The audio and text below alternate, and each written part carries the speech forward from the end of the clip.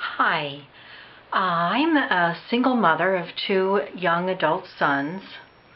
Um, and when they were growing up, we rarely had opportunities to travel.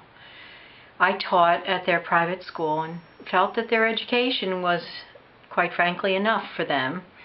And um, we were rarely apart, so I never really worried about leaving them, even for short periods of time. And I could not afford a lawyer to draw up a will for me. So I just let it go for years. And then at 55, I was given an opportunity to travel abroad for three weeks. Of course, I never felt comfortable going without having legal documentation regarding what my boys would need to do if anything happened to me and what they would receive when I died. A friend mentioned LegalZoom. Not being much of a technology person, I was skeptical that it would be possible to draw up a will for $100. I went online and filled out the information both for what should happen in the event of my death and what my wishes were if I became terminally ill. In less than an hour, I had answered all the questions.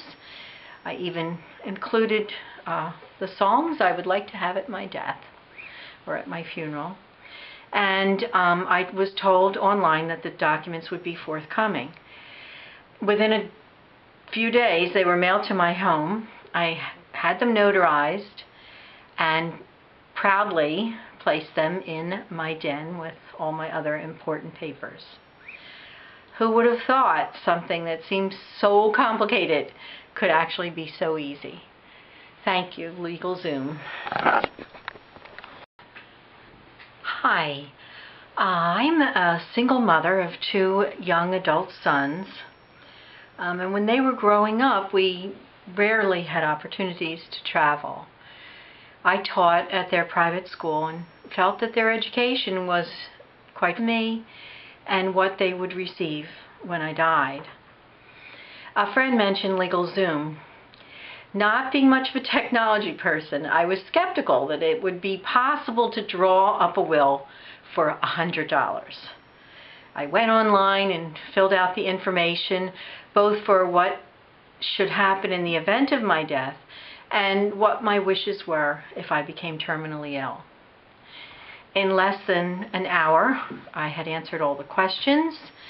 I even included uh, the songs I would like to let it go for years.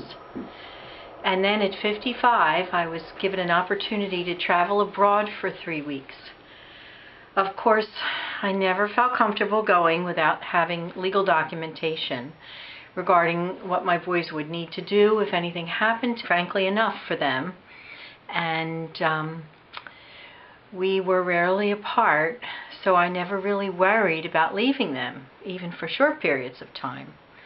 And I could not afford a lawyer to draw up a will for me. So I just